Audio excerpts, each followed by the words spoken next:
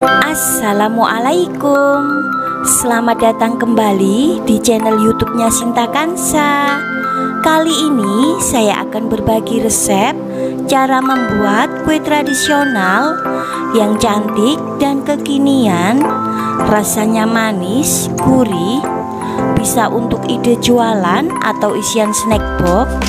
Jika kalian ingin tahu resep dan cara pembuatannya Simak videonya sampai akhir ya. Jangan lupa bantu klik tombol subscribe, like, share, dan komen. Terima kasih. Langkah pertama siapkan 1 kilo singkong. Untuk singkongnya ini sudah dicuci bersih kemudian diserut. Tambahkan 250 gram gula pasir satu bungkus vanili bubuk Setengah sendok teh garam setelah itu aduk-aduk sampai gulanya larut dan tercampur rata.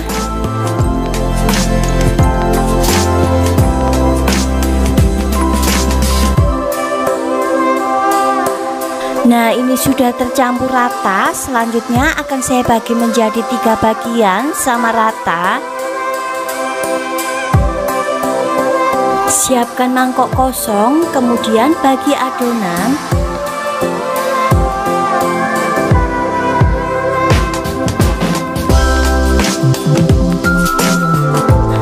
Setelah adonan dibagi menjadi tiga bagian sama rata, selanjutnya kasih warna. Untuk wadah pertama, saya kasih warna kuning secukupnya, kemudian aduk-aduk sampai tercampur rata.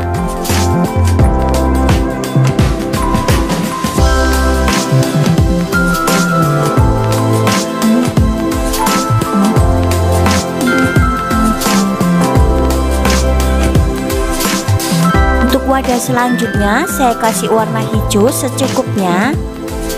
Kemudian sama aduk-aduk sampai tercampur rata.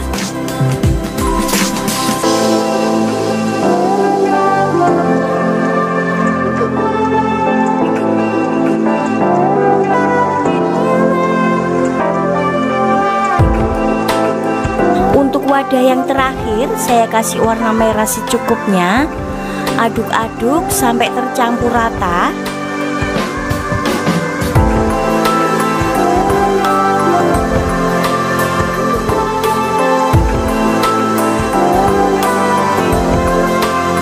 Setelah semua adonan sudah dikasih warna Untuk selanjutnya adonan akan saya kukus. Siapkan loyang Kemudian tuang adonan warna hijau dulu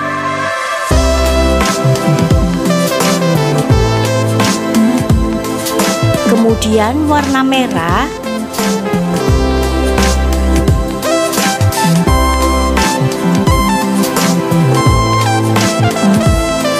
Untuk yang terakhir masukkan warna kuning.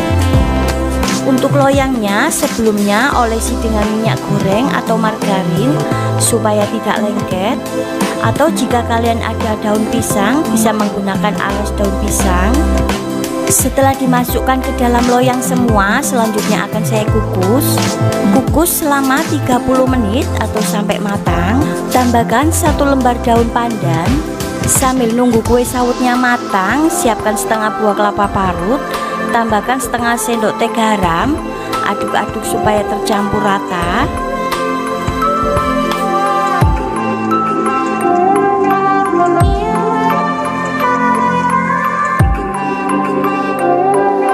Kemudian tambahkan satu lembar daun pandan supaya lebih wangi. Setelah 15 menit buka tutupnya. Kemudian kukus kelapa parutnya di atas kue sawut Kemudian kukus kembali selama 15 menit. Setelah 15 menit atau setelah matang buka tutupnya. Kemudian keluarkan dari kukusan dan biarkan sampai dingin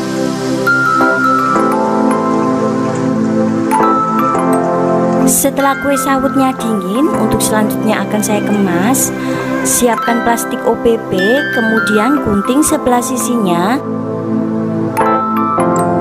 Setelah itu, masukkan satu sendok makan kelapa parut.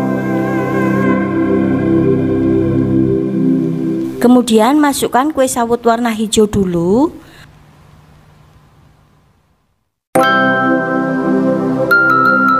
kemudian kasih warna kuning, dan terakhir kasih warna merah. Untuk urutan warnanya disesuaikan dengan selera saja.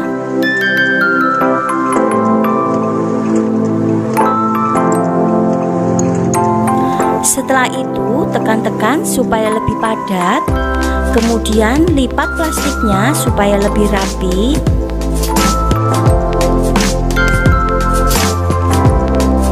Lalu gunting.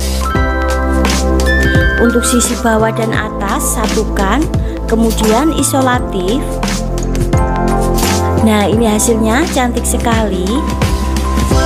Dan lakukan hal yang sama sampai habis dan selesai.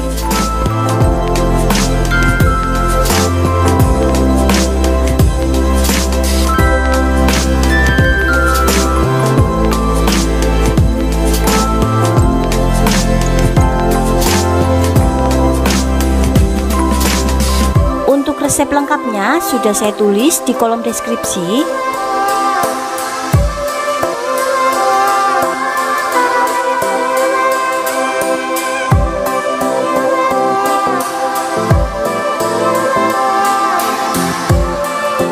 Setelah dikemas, tempeli dengan stiker. Nah, hasilnya akan lebih cantik lagi. Cocok sekali sebagai ide jualan atau isian snack box.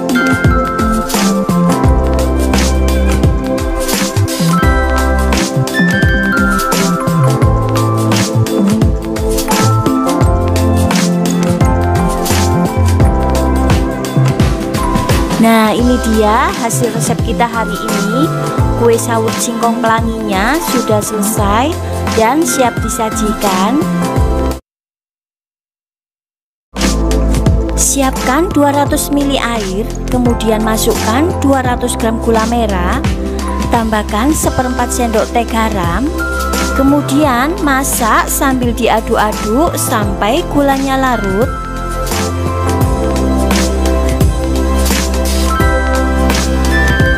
Setelah dirasa gulanya sudah larut, matikan api kompor, kemudian pindah ke wadah lain. Siapkan wadah, kemudian tuang air gula merahnya.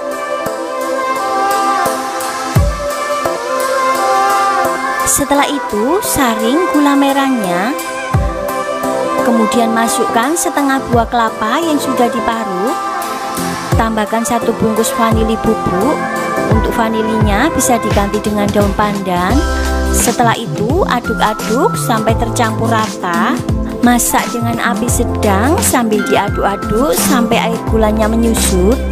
Nah ini air gulanya sudah mulai menyusut Kita masak sebentar lagi Sampai kelapanya ini agak kering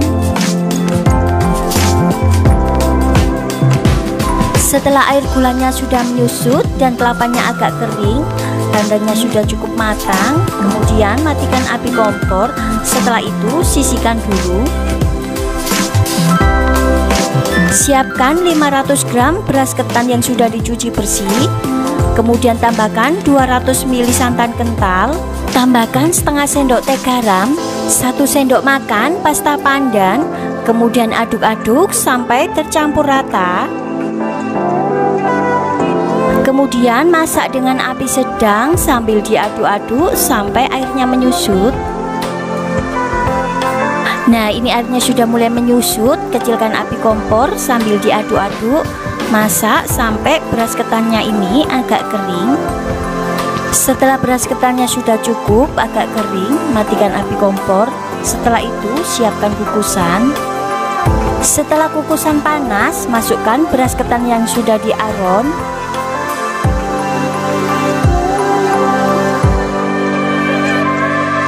Setelah itu kukus selama 30 menit atau sampai matang. Setelah 30 menit atau setelah matang buka tutupnya Kemudian angkat dan keluarkan dari kukusan. Setelah itu biarkan sampai dingin. Setelah dingin bentuk bulat Ambil secukupnya ketan kemudian isi dengan unti kelapa Setelah itu bentuk bulat kembali bentuk bulat adonan sampai habis dan selesai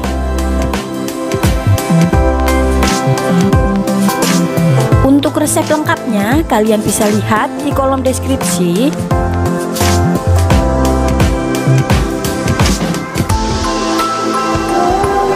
Setelah dibentuk bulat semua, selanjutnya akan saya kemas.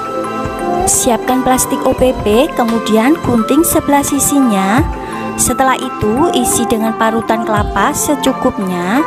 Untuk kelapa parutnya, sebelumnya sudah saya kukus supaya tidak mudah basi.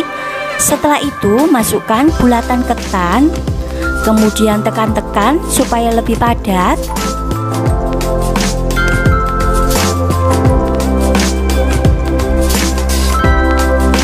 Kemudian gunting sisa plastiknya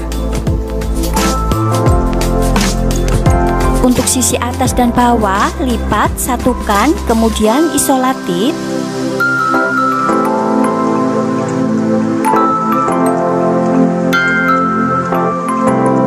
Dan ini hasilnya cantik sekali.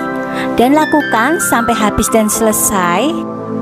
Sebelum dikemas, pastikan ketannya sudah benar-benar dingin supaya ketannya bisa awet, tahan lama, dan tidak mudah basi.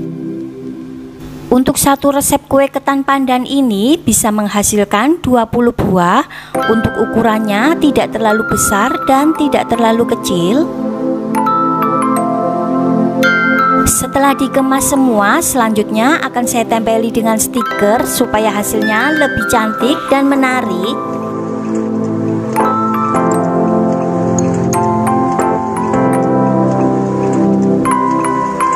Dan ini hasilnya, ketan pandan isi unti kelapanya sudah selesai dan siap disajikan. Ini benar-benar rasanya sangat enak Cara bikinnya sangat mudah sekali. Selain itu tampilannya sangat menarik Cocok sekali sebagai isian snack box atau ide jualan kalian. Demikian resep dari saya Selamat mencoba Dan sampai ketemu di video selanjutnya Terima kasih